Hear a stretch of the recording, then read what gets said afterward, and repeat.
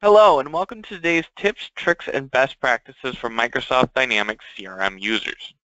Today's topic is how to create data mapping. Many of you may be wondering, what's data mapping, and why would I want to create a data mapping? Those are excellent questions.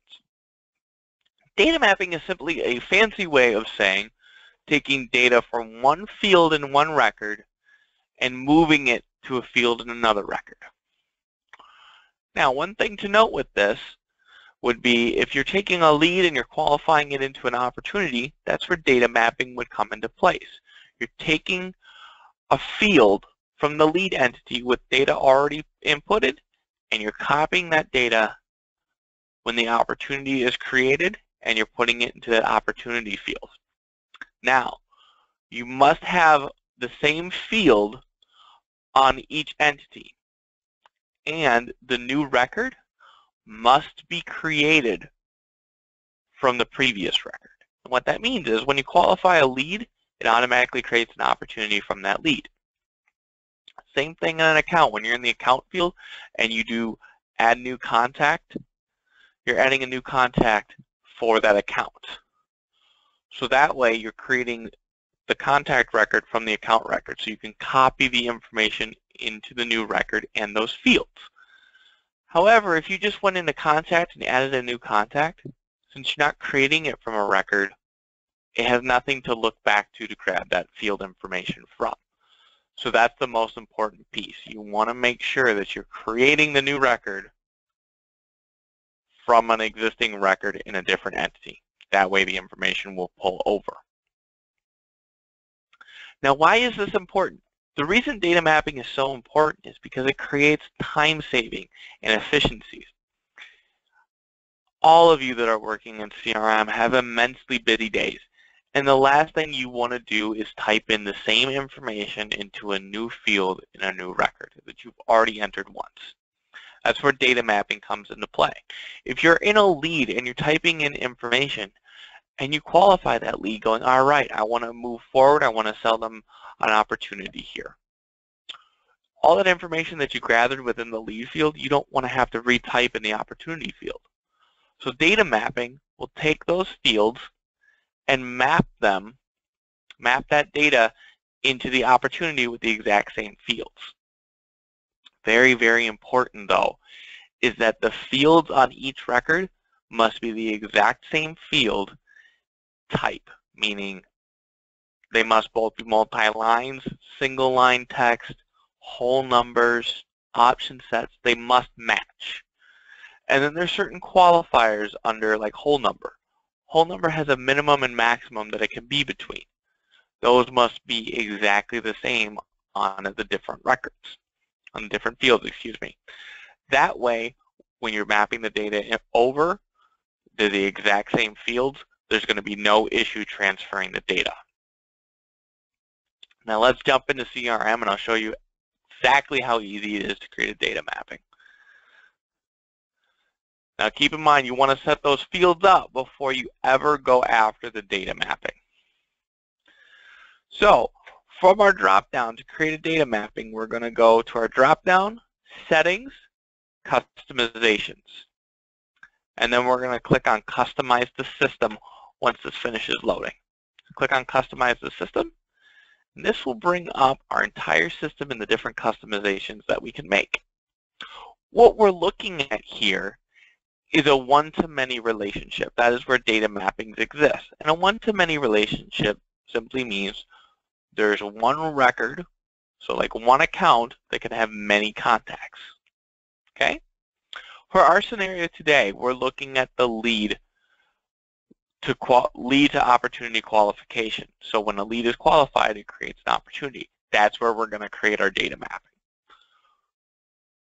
You're going to create this data mapping off of the source entity. So the source entity is lead because it's creating the opportunity. So we're going to click on our little drop-down arrow next to entities. Then we're going to do the same thing next to lead. Then we're going to click on one-to-N relationships. That simply means one to many. Now this will bring up all the one-to-many relationships that exist where lead is the source.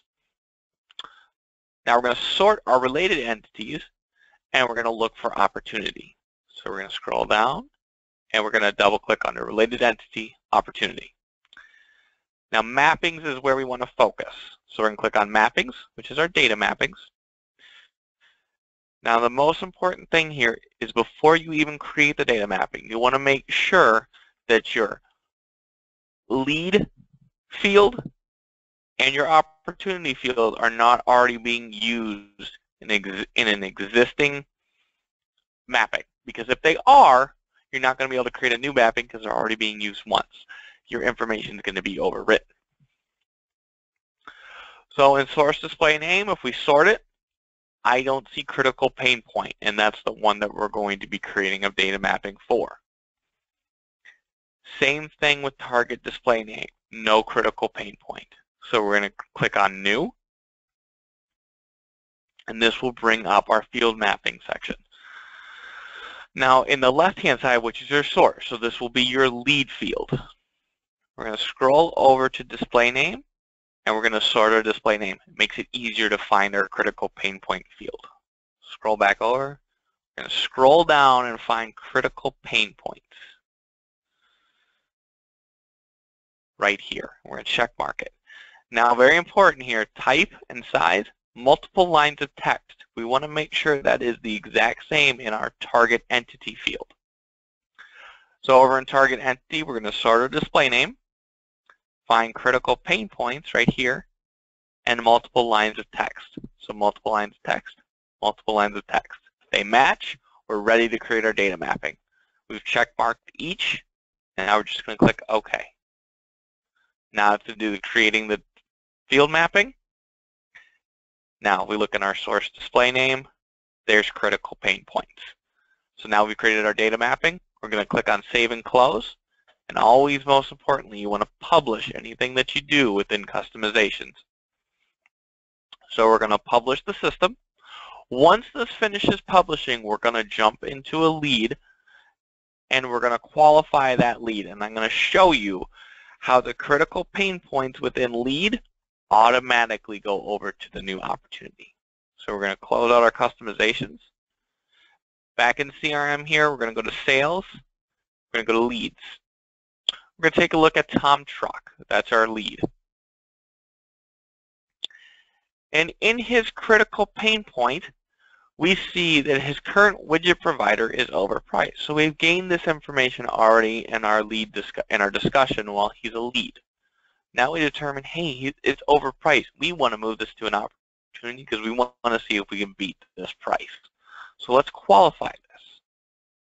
So click on qualify. And what this will do is it will qualify the lead and then it's creating an account, a contact, and an opportunity. Now the new opportunity that's created, we can see right here, our critical pain point came over. Current widget provider is overpriced.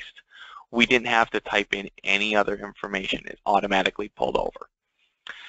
As did the topic, the contact's name because we created a new contact. So that's what's so great about data mapping. A lot of the information that we had when we were talking to the customer while they were a lead to determine if they're worth their quality lead moved over to the opportunity when we're ready to sell to them. Create a lot of savings. And you can do this for any field in lead that matches an opportunity. And you could do this across many different entities. And it's a really great time saver. That's our topic today on how to create data mapping. Are you ready to learn more? Additional tips, resources, and information can always be found at ledgerpartners.com. Do you want to contact LedgerView Partners? Simply contact us at the email and phone number listed on the screen. My name is Michael Dodds. I'm a CRM support consultant here at LedgerView Partners, and I hope you have a wonderful day.